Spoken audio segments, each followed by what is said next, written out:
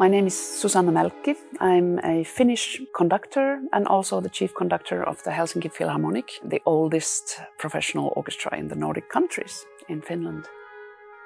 We are really excited to be coming to Edinburgh to perform at the Edinburgh International Festival with a beautiful program of Finnish music and Swiss music, uh, two contemporary living composers, and one classic from Finland. We are including Jean Sibelius because I'm very proud that the Helsinki Philharmonic has, has a very, very close history with Jean Sibelius. We are also extremely pleased to bring a piece by Kaija Saariaho, who is one of the most important living composers of today. And this is a piece which was actually dedicated to myself. I'm very honored by that. And it's written for the Helsinki Philharmonic. It's called Vista and it's an absolutely beautiful piece. We are also bringing a piano concerto by Dieter Ammann, of which the orchestra is also a co-commissioner, with the soloist Andreas Haefliger, who the piece is written for. And it's a really, really exciting um, fireworks of a piece. I find it being such a privilege to work with living composers. You develop a relationship over the years. There's this long-time connection with Kaija Saariaho uh, already existing between us. And and when I started with the Helsinki Philharmonic a few years ago as a chief conductor, Kaija was, of course, uh, the first composer I asked whether she would like to write a piece for us. So it was a very, very meaningful moment to premiere the piece, and it was written for the Helsinki Philharmonic. Is very important to me on a personal level as well. And I was, of course, extremely touched and honored when there was also the dedication from Kaija to myself. And I'm really, really pleased to be a messenger of her music in the world.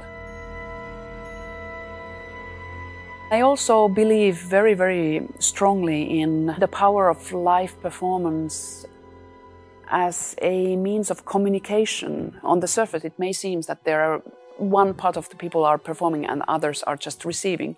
But that's actually not true. I think there's a beautiful communication happening. The performers can always sense the attentiveness of the public and and it's really a, a joy to share. You know, I think music is, is one more dimension to to our being together. And it, it's it's it, creates a bond, it creates uh, memories together. The, you, we all know about unforgettable performances and the evenings when we were, oh, the, the audience was so attentive. It was such a great room to be performing in. And, and on the other hand, you, you can have the audience, oh, that was a memorable concert. And I think those are the experiences we, we hope to live and we hope to be able to, to give to audiences as well. It's incredibly uplifting.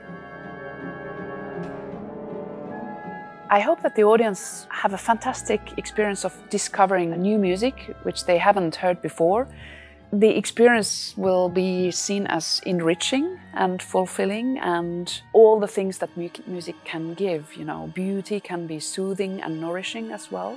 It's such a great joy and an honor to be performing at the Edinburgh International Festival because it's one of the big and important and exciting festivals of Europe and in the world. So the orchestra and myself, we are really, really looking forward to be performing at the festival. I really, really have a memory of, of a place which is very lively. Scotland is a fantastic part of the world. I mean, coming from a country which is, you know, it's never been a great empire, but it has strong cultural identity. I think there's an affinity with um, Scottish culture. Lots of beautiful memories. I'm really looking forward to coming back to Edinburgh.